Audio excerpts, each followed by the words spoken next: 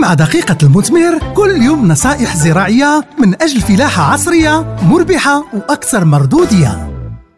أخي الفلاح أختي الفلاحة في هذه الحلقة غادي نتكلموا على برنامج تسميد بالتنقيط أو الكوتا كوت لأشجار الزيتون.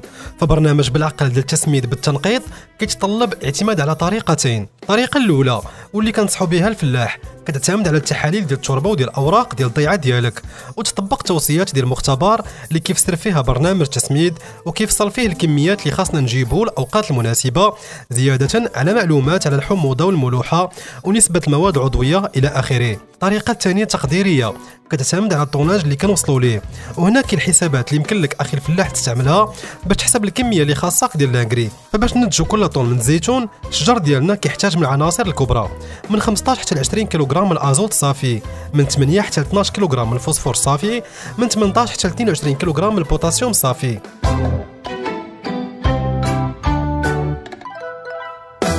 أخي الفلاح أختي الفلاحة. لابد نعرفوا الوقت المناسب والنسبة والكمية ديال l'engrais اللي خاصنا نجيبو في كل مرحلة ديال النمو ديال الشجر. وبحكم أننا كنتحكموا في برنامج السقي يمكن نفرقوا الاحتياجات بداية من مارس إلى أكتوبر كالتالي. مارس أبريل 15% من الأزوت زائد 55% من الفوسفور زائد 0% من البوتاسيوم. مفرق بالأقل على جوج السقيات ما يونيو 40% من الأزوت زائد 40% من الفوسفور زائد 15% من البوتاسيوم. مفرق بالأقل على جوج السقيات يوليوز غشت 35% من الازوت زائد 5% من الفوسفور زائد 40% من البوتاسيوم مفرق بالأقل على جوج السقيات. شتنبر أكتوبر 10% من الأزوت زائد 0% من الفوسفور زائد 45% من البوتاسيوم مفرق بالأقل على جوج السقيات. فباش نزيد نحسن من الانتاجيه والجودة لازم نزيد الاحتياجات من العناصر الصغرى والثانوية. البور الحديد الزنك النحاس والمغنيسيوم. في حالة النقص الحاد لازم نجيب الكمية الخاصة مع ماء السقي. وفي حالة النقص الخفيف يمكن نجيب الكميات الخاصة بالرش على الأوراق في الوقت المناسب.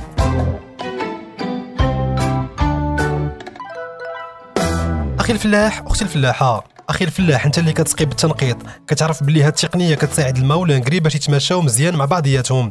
وهنا لازم نستغل الماء وجميع آليات ال goutte à goutte والتقنيات ديال الضغط والقنوات المصاحبة باش نوصل l'engrais جنب الشبكه ديال الشجر ديالي. ولا احترمت الوقت المناسب والاحتياجات ديال الشجر على حساب الصنف والعمر والكثافة غنكون حسنت تغذية الشجر وبالتالي نكون رفعت من الإنتاجية والجودة ديال المنتوج.